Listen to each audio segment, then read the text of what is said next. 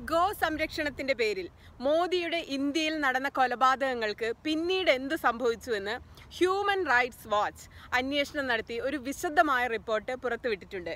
B B C അടക്കമുള്ള മാധ്യമങ്ങൾ അത് പ്രസിദ്ധീകരിച്ചിട്ടുണ്ട്. അതിന്റെ ചുരുക്കവും അതിന്റെ പരിഹാരങ്ങളും ഒക്കെ ഗോ സംരക്ഷണത്തിന്റെ പേരിൽ ഇന്ത്യയുടെ പന്ത്രണ്ട് സംസ്ഥാനങ്ങളിലായി കൊല ചെയ്യപ്പെട്ട നാൽപ്പത്തിനാല് പേരിൽ മുപ്പത്തിയാറ് പേരും മുസ്ലിങ്ങളായിരുന്നു എന്നാണ് റിപ്പോർട്ടിലെ ഒരു പ്രധാനപ്പെട്ട വിവരം.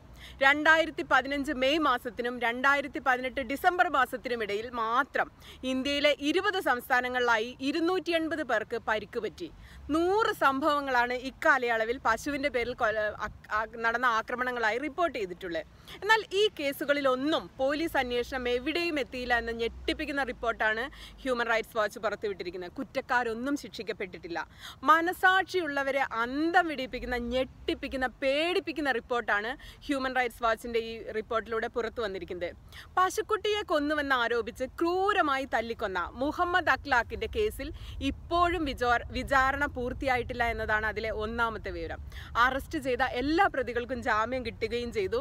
അഖ്ലാഖിന്റെ കുടുംബത്തിലെ എല്ലാവർക്കുമെതിരെ പശുവിനെ കൊന്നതിനുള്ള കേസ് എടുത്തിട്ടുമുണ്ട്. മാർച്ച് രണ്ടായിരത്തി പതിനാറിൽ മുപ്പത്തിയഞ്ചുകാരനായ മസ്ലൂം അൻസാരിയും പന്ത്രണ്ടുകാരനായ ഇംതിയാസ് ഖാനും ജാർഖണ്ഡിലെ കാലിച്ചന്തയിൽ കാളകളെ വിൽക്കാൻ വേണ്ടിയെത്തി. അവരെ ഗോ സംരക്ഷണ സേന ക്രൂരമായി മർദ്ദിച്ചാണ് കൊലപ്പെടുത്തിയത്. ഇംതിയാസ് ഖാന്റെ അച്ഛൻ ആസാദ് ഖാൻ പറയുന്നത് മഹൻ മകൻ സഹായത്തിന് വേണ്ടി കരഞ്ഞ് അലറി വിളിച്ചിട്ടും തനിക്ക് ഒന്നും ചെയ്യാൻ പറ്റിയില്ല. പക്ഷെ കാരണം അദ്ദേഹം ആ കേസിൽ ഇടപെടുകയാണെങ്കിൽ അദ്ദേഹത്തെയും അക്രമികൾ അടിച്ചു കൊല്ലുമായിരുന്നു എന്ന് ഭയന്നിട്ട് ഒരു കുറ്റിക്കാട്ടിൽ അദ്ദേഹം മിണ്ടാതെ ഒളിച്ചിരിക്കേണ്ടി വന്നു എന്ന്. സ്വന്തം മകനെ തല്ലിക്കൊല്ലുന്നത് കണ്ടുകൊണ്ട്. തല്ലിക്കൊന്നിട്ട് ഇവരുടെ ശവം ഒരു മരത്തിൽ കെട്ടിത്തൂക്കുകയാണ് ഉണ്ടായത്. കൈകൾ രണ്ടും പുറകോട്ട് കെട്ടിയിരുന്നു. കണ്ണുകൾ തുണി ഉപയോഗിച്ച് മൂടി കെട്ടുകയും ചെയ്തിരുന്നു. ഒറ്റ നോട്ടത്തിൽ തന്നെ കൊലപാതകം. പോസ്റ്റ്മോർട്ടം റിപ്പോർട്ടിൽ ഉണ്ടായിരുന്നത് എന്തോ ദണ്ട് ഉപയോഗിച്ച് അടിച്ചതാണ് മരണകാരണം എന്ന് തന്നെയായിരുന്നു. എന്നിട്ടും ഈ കേസിൽ എട്ട് പേരെ കോടതി കുറ്റക്കാരാണെന്ന് കണ്ടെത്തി ജീവപര്യന്തം തടവിന് ശിക്ഷിക്കുകയും ചെയ്തു. ഈ പ്രതികൾ അന്ന് കുറ്റസമ്മതമായി പറഞ്ഞത് ഇവർ മുൻപും കന്നുകാലി കച്ചവടക്കാരായ മുസ്ലിങ്ങളെ ആക്രമിച്ചിട്ടുണ്ടെന്നും കന്നുകാലികളെ മോഷ്ടിച്ചിട്ടുണ്ടെന്നും പലരുടെ അടുത്തുനിന്ന് കന്നുകാലികളെ പിടിച്ച് കാട്ടിൽ കെട്ടഴിച്ച് വിട്ടിട്ടുണ്ടെന്നും ഒക്കെ കുറ്റസമ്മതം പോലും നടത്തിയവരാണ്. ഈ കേസിലും പ്രധാന പ്രതിയായ വിനോദ് പ്രജാപതിക്കെതിരെ കേസ് എടുക്കാൻ പോലും പോലീസ് തയ്യാറായിട്ടില്ല. വിനോദാണ് ഈ അക്രമി സംഘത്തിന്റെ തലവൻ. ഇയാളാണ് ഈ കൊലപാതകത്തിന്റെ മുഖ്യ ആസൂത്രകൻ എന്നറിഞ്ഞിട്ടും പോലീസ് ഇടപെട്ടിട്ടില്ല. മറ്റു പ്രതികൾക്കൊക്കെ ഒരാഴ്ചക്കകം ജാമ്യത്തിൽ ഇറങ്ങുകയും ചെയ്തു. ജാമ്യം കിട്ടി. രണ്ടായിരത്തി പതിനെട്ടിലാണ് നാൽപ്പത്തിയഞ്ചുകാരനായ മുഹമ്മദ് ഖാസിമിനെ ഉത്തർപ്രദേശിൽ പശുവിനെ കൊന്നെന്ന് ആരോപിച്ച് ഗോ സംരക്ഷണ സേനക്കാർ തല്ലിക്കൊന്നത്. എന്നിട്ട് മോട്ടോർ സൈക്കിൾ അപകടത്തിലാണ് മുഹമ്മദ് മരിച്ചതെന്ന് അവർ വരുത്തി തീർത്തു. പോലീസൊക്കെ വരെ അന്വേഷണം ഉണ്ടാവുകയൊക്കെ ചെയ്തു. പക്ഷേ ഈ കേസിൽ ഇതുവരെ ഒരാളെ പോലും അറസ്റ്റ് ചെയ്യാൻ പോലീസിന് കഴിഞ്ഞിട്ടില്ല. ഈ കൊലപാതകത്തിന് സാക്ഷിയായി സമൈദീൻ എന്നൊരു മനുഷ്യനുണ്ടായിരുന്നു. ആ മനുഷ്യനെയും ആൾക്കൂട്ടം അടിച്ച് അബോധാവസ്ഥയിലാക്കി ഇയാൾ അബോധാവസ്ഥയിൽ കിടക്കുന്ന സമയത്ത് പോലീസ് ഈ സാക്ഷിയുടെ വിരലൊപ്പ് ശേഖരിച്ച് ഒരു പേപ്പറിൽ പതിപ്പിച്ചു. എന്നിട്ട് പോലീസിന് ആവശ്യമുള്ളത് എഴുതി ചേർത്താണ് കേസ് തള്ളിയത്. പിന്നീട് വലിയ സമരങ്ങൾ ഇതിന്റെ പേരിലുണ്ടായപ്പോൾ എട്ട് പേരെ പോലീസ് അറസ്റ്റ് ചെയ്തു. അതിൽ നാല് പേരെ ജാമ്യത്തിൽ വിട്ടു ഉടനെ തന്നെ പോലീസ് പിന്തുണ ഈ കേസിലും അക്രമികൾക്ക് തന്നെയായിരുന്നു. രണ്ടായിരത്തി പതിനെട്ട് ജൂലൈ ഇരുപത്തിയെട്ടിന് ജൂലൈയിൽ ഇരുപത്തെട്ടുകാരനായ അക്ബർ ഖാനെയും ആൾക്കൂട്ടം തല്ലിക്കൊന്നു. പശുവിനെ വാങ്ങിച്ചു എന്ന കുറ്റത്തിന്. കൊലപാതകത്തെക്കുറിച്ച് സാക്ഷികൾ പറഞ്ഞതും പോലീസ് എഫ്ഐആർ എഴുതിയതും തമ്മിൽ യാതൊരു ബന്ധവുമില്ല. നടന്ന സംഭവമല്ല എഫ്ഐആർ ഇട്ടത്. ഈ കേസിലും പ്രതികൾ ശിക്ഷിക്കപ്പെട്ടില്ല. സ്ഥലത്തെ വിശ്വ ഹിന്ദു പരിഷത്ത് ലീഡർ ആയി ലീഡർ പറയുന്നത് പോലീസാണ് ഇയാളെ തല്ലിക്കൊന്നത് എന്നാണ് അവസാനം. എന്നിട്ട് പോലീസുകാർക്കെതിരെയാണ് നടപടി ഉണ്ടായത്. കുറ്റക്കാർക്കെതിരെയോ പ്രതികൾക്കെതിരെയോ ക്രിമിനൽസിനെതിരെയോ അല്ല. യഥാർത്ഥത്തിൽ അയാളെ ആൾക്കൂട്ടമാണ് തല്ലിക്കൊന്നത്. അതിന് സാക്ഷികളുമുണ്ട്. ജാർഖണ്ഡിൽ ഇരുപത്തിരണ്ടുകാരനായ മിൻഹാജ് അൻസാരിയെ പോലീസ് അറസ്റ്റ് ചെയ്തത് വാട്സാപ്പ് ഗ്രൂപ്പിൽ ബീഫിന്റെ ഒരു ഫോട്ടോ പോസ്റ്റ് ചെയ്തു എന്ന് കുറ്റം ചുമത്തിയാണ്. ആറ് ദിവസങ്ങൾക്ക് ശേഷം അൻസാരി പോലീസിന്റെ ക്രൂരമർദ്ദനത്തെ തുടർന്ന് കൊല്ലപ്പെടുകയാണ് ഉണ്ടായത്. അൻസാരിക്കെതിരെ പോലീസ് എന്നാൽ മതവികാരം വ്രണപ്പെടുത്തിയതിന് അൻസാരിക്കെതിരെയാണ് പോലീസ് കേസ് ചാർജ് ചെയ്തത്. പോലീസുകാരന് കുറേ പ്രതിഷേധങ്ങളൊക്കെ ഉണ്ടായി സമരമൊക്കെ ചെയ്തു. അപ്പോൾ പോലീസുകാരനെ സസ്പെൻഡ് ചെയ്തു. അതാണ് ഈ കേസിൽ ആകെ ഉണ്ടായൊരു നടപടി. വീട്ടുകാർക്ക് പണമൊക്കെ നൽകി കേസ് എടുക്കാനുള്ള ഒതുക്കാനുള്ള ഒരു ശ്രമമൊക്കെ നടക്കുന്നുണ്ട്. രാജസ്ഥാനിലെ ഫേലുഖാനെ അൻപത്തിയഞ്ച് വയസ്സുള്ള ഫേലുഖാനെ പശുവിനെ കടത്തി എന്ന് ആരോപിച്ച് മർദ്ദിച്ച് കൊലപ്പെടുത്തി. മരണമൊഴിയിൽ തന്നെ മർദ്ദിച്ച ആറു പേരെ കുറിച്ച് ഫേലുഖാൻ മൊഴി നൽകിയിട്ടുണ്ട്. കൊലപാതകികൾക്കെതിരെ കേസെടുക്കുന്നതിന് പകരം പോലീസ് എന്താണ് ചെയ്തതെന്ന് അറിയാമോ പശുക്കടത്തിന്റെ പേരിൽ ഈ മരിച്ച മനുഷ്യന്റെ പേരിൽ പോലും ഇരകളുടെ പേരിലാണ് കേസെടുത്തത്.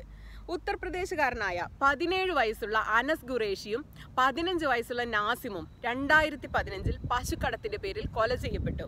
ക്രൂരമായി ആൾക്കൂട്ടം തല്ലിക്കൊന്നു. ഈ കേസിലും കൊലപാതകൾക്കെതിരെ കേസെടുക്കുന്നതിന് പകരം പോലീസ് ആദ്യം കേസ് രജിസ്റ്റർ ചെയ്തത് മരിച്ചവരടക്കമുള്ള ഇരകളുടെ പേരിലാണ് കേസ് രജിസ്റ്റർ ചെയ്തത്. പശുക്കടത്തിന്റെ പേരിൽ പശുവിനെ പശുവിനെ കടത്തിയതിന് ഇവരുടെ ട്രക്കിൽ രണ്ട് പശുക്കൾ ഉണ്ടായിരുന്നു എന്നതാണ് പോലീസ് കുറ്റമായി കാണുന്നത്.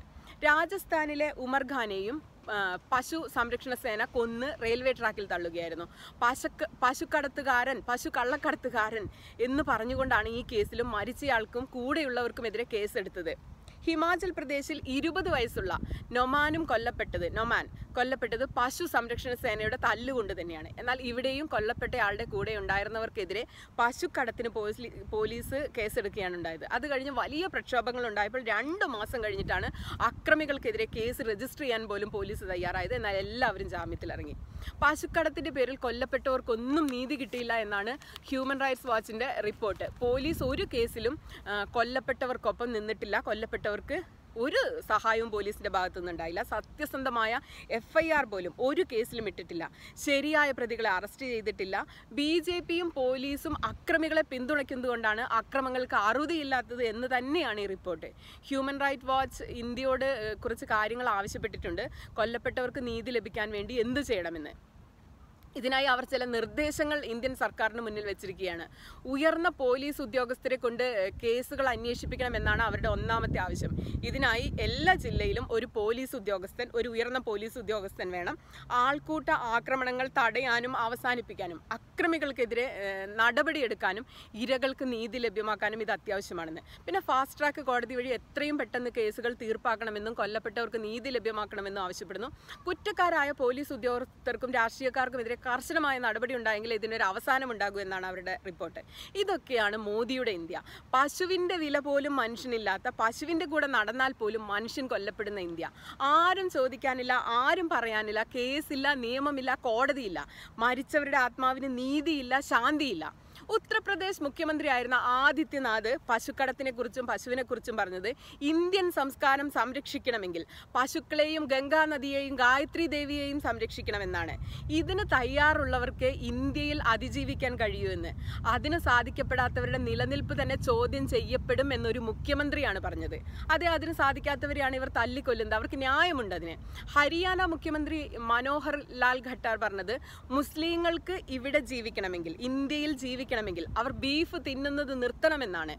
ഇന്ത്യയിൽ പശു എന്നത് വിശ്വാസത്തിന്റെ ഒരു പ്രതീകമാണ് എന്ന് ആ അദ്ദേഹം പറയുകയാണ് ഹരിയാന മുഖ്യമന്ത്രി. ഇതൊക്കെ ആരുണ്ടാക്കിയ തിയറിയാണ്? ആരാണ് ഈ പശുവിനെ ദൈവവും അമ്മ ദൈവവും ഒക്കെ ആക്കിയത്? സംഘപരിവാറാണോ? ഇഷ്ടമുള്ളത് തിന്നാൻ പോലും സാധിക്കാത്ത ഒരു ജനതയായിട്ടാണ് നാം ഇന്ന് ഇന്ത്യയിൽ ജീവിക്കുന്നത്. ഛത്തീസ്ഗഡ് മുഖ്യമന്ത്രിയായിരുന്ന രാമൻ സിംഗ് പറഞ്ഞത് ഇതിനേക്കാളൊക്കെ രസകരമാണ്. പശുവിനെ കൊല്ലുന്നവരെ തൂക്കിലേറ്റുമെന്നാണ് അദ്ദേഹം പറയുന്നത്. നല്ല മുഖ്യമന്ത്രി. സ്വന്തം ജനതയേക്കാൾ ഇദ്ദേഹത്തിന് വലുതാണ് പശുക്കൾ. കേന്ദ്രമന്ത്രി മുക്താർ അബ്ബാസ് നഖ്വി പറഞ്ഞത് ബീഫ് തിന്നാതെ ജീവിക്കാൻ പറ്റില്ല എന്നുള്ളവർ. ഇവിടെ ബീഫ് തിന്നേ പറ്റൂ എന്നുള്ളവർ. ബീഫ് തിന്നാതെ പറ്റില്ല എന്നുള്ളവർ. പാകിസ്ഥാനിലോ അറബ് രാജ്യങ്ങളിലോ അത് കിട്ടുന്ന മറ്റേതെങ്കിലും രാജ്യങ്ങളിലോ പോകണമെന്നാണ്. ഇത്തരം ആളുകൾ അധികാരത്തിലിരിക്കുമ്പോൾ എങ്ങനെയാണ് മരിച്ചവർക്ക് നീതി ലഭിക്കുക? ഇത് ഭരണകൂടം നടപ്പാക്കുന്ന ആസൂത്രിത കൊലകളാണ്. ഇവിടെ ആർക്കും നീതി കിട്ടില്ല. കാരണം ഭരണകൂടമാണ് ഇവിടെ അക്രമി. ബീഫിന്റെ പേരിലും പശുവിന്റെ പേരിലും നടക്കുന്ന ആൾക്കൂട്ട കൊലകൾ അവസാനിക്കണം. അക്രമികളുടെ പേരിൽ കർശന നടപടി ഉണ്ടാകണം. മരിച്ചവർക്ക് നീതി ലഭിക്കണം. അതിനായി നരേന്ദ്രമോദി സർക്കാർ മാറണം. സംഘപരിവാറിന്റെ പിടിയിൽ നിന്നും ഇന്ത്യ വിമുക്തമാകണം.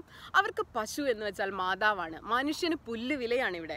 ഇവിടെ പശുവിന് ജീവിക്കാനുള്ള സൗകര്യങ്ങളല്ല ഉണ്ടാകേണ്ടത്. മനുഷ്യന് ജീവിക്കാനുള്ള അടിസ്ഥാനപരമായ സൗകര്യങ്ങളും സാഹചര്യങ്ങളുമാണ് ഇന്ത്യയിൽ ഉണ്ടാകേണ്ടത്.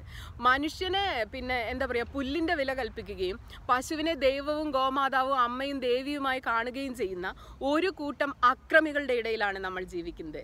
അതിന്റെ പേരിൽ അവർ പശുവിനെ കടത്തി പശുവിനെ കൊണ്ടുപോയി പശുവിനെ വിറ്റു എന്നതിന്റെ പേരിലൊക്കെ മനുഷ്യരെ തല്ലിക്കൊല്ലുകയാണ് ചെയ്യുന്നത്. എന്നിട്ട് അതിനെ ന്യായീകരിക്കാൻ വേണ്ടി ഇതുപോലെ ഉയർന്ന നേതാക്കളടക്കം മുഖ്യമന്ത്രി അടക്കമുള്ളവരടക്കം ന്യായീകരണങ്ങൾ ചമക്കുകയാണ്. പശു ദൈവമാണ് ബീഫ് കഴിക്കണം എന്നുള്ളവർ പുറത്ത് പോയിക്കോ എന്നൊക്കെ പറയുന്നു. പക്ഷേ ആൾക്കൂട്ട കൊലപാതകങ്ങളൊക്കെ ഉണ്ടാകുമ്പോൾ നമ്മൾ അതിന് ഫോളോ അപ്പ് നടത്താറില്ല അപ്പോൾ ആ പശുവിന്റെ പേരിൽ കൊല ചെയ്യപ്പെട്ടു എന്ന് നമ്മൾ എപ്പോഴും കേൾക്കാറുണ്ട്. അപ്പോൾ നമ്മൾ കുറേ ബഹളമൊക്കെ വയ്ക്കും ഇങ്ങനെ കൊല്ലാൻ പാടില്ല. പക്ഷേ ആ കേസുകൾക്ക് എന്ത് സംഭവിക്കുന്നു എന്ന് നമ്മൾ ഒരിക്കലും അന്വേഷിക്കാറില്ല. ആ കേസുകൾക്ക് ഓരോരുത്തരെയും ആൾക്കൂട്ടം പശുവിന്റെ പേരിൽ തല്ലിക്കൊന്ന കേസുകൾക്ക് എന്ത് സംഭവിച്ചു എന്ന് നമ്മൾ അന്വേഷിച്ച് പോയപ്പോൾ കണ്ട കാര്യമാണിത്. ഒരു കേസിലും കൃത്യമായ എഫ്ഐആർ രജിസ്റ്റർ ചെയ്തിട്ടില്ല. ഒരു കേസിലും മരിച്ചവർക്ക് നീതി കിട്ടിയിട്ടില്ല. പേരിന് അറസ്റ്റ് ചെയ്തവർക്ക് ഉടനെ ജാമ്യം ലഭിച്ചു. ഇതുകൂടാതെ കൊല്ലപ്പെട്ടവർക്കെതിരെ ഇരകൾക്കെതിരെ കേസ് രജിസ്റ്റർ ചെയ്തിരിക്കുകയാണ് മിക്ക കേസിലും. അപ്പോൾ ഇതിൽ ഇതുവരെ പശുവിന്റെ പേരിൽ കൊല്ലപ്പെട്ടവർക്കൊന്നും നീതി ലഭിച്ചിട്ടില്ല. കേസ് മുന്നോട്ട് പോയിട്ടില്ല. പോലീസും ഭരണകൂടവും അക്രമികൾക്കൊപ്പമാണ്. ഇത് അവസാനിപ്പിക്കണം.